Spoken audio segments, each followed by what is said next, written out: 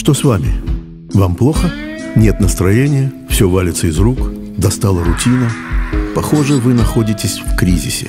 Не нравится вам ваше сегодняшнее состояние, не хочется вам менять жизнь, но с одной стороны так происходит всегда, когда мы переходим из состояния в состояние. Даже когда меняем старую добрую машину, теплую обжитую квартиру, привычную работу или переезжаем в новый незнакомый город. Мы хотим напомнить вам, что в действительности слово «кризис» вовсе не такое плохое. Оно означает «новое начало». А вы знаете, что Эйнштейн вообще подпрыгивал от радости при слове «кризис»? Вот что он писал. «Кризис – реальное благословение для любого человека. Кризис – это прогресс. Творчество всегда рождается из тоски из кризиса», – писал он как и день рождается из ночи. Без проблем жизнь становится рутиной, медленной агонией. В кризисе проявляется самое лучшее в нас. Кто преодолевает кризис, преодолевает себя. Не хотеть преодолеть кризис – это значит пренебречь своим талантом. Вот так говорил великий Эйнштейн. А он редко ошибался. Смотрите, что сегодня делается во всем мире.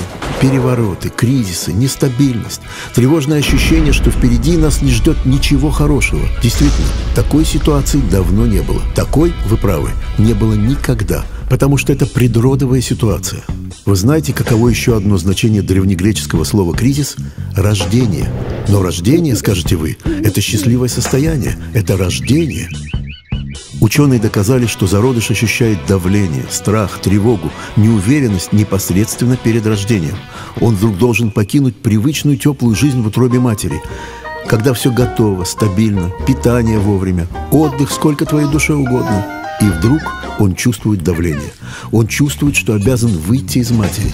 И она тоже не хочет и не способна удерживать его. Вследствие взаимного отторжения происходит процесс родов и ребенок рождается. И рождается в светлом, прекрасном мире, где встречают его с огромной любовью. Он обретает новую жизнь на новой ступени. Чем мы отличаемся от этого ребенка? Ничем. Мы действительно находимся в предродовом периоде. Мы действительно на пороге новой, прекрасной жизни, где нас ждет тепло, любовь. Счастливая жизнь нас ждет, в которой мы должны сделать первый шаг.